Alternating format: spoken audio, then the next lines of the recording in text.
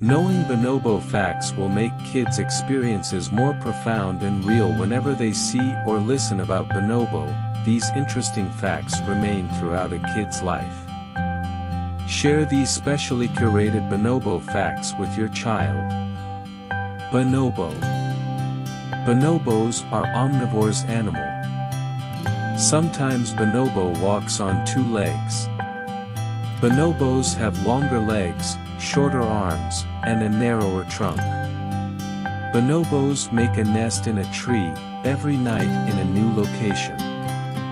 Bonobos are typically knuckle walkers when on the ground. Bonobos are also active in trees, climbing and swinging and leaping between branches. Bonobos can understand language, communicate with people, play musical instruments, and use various tools.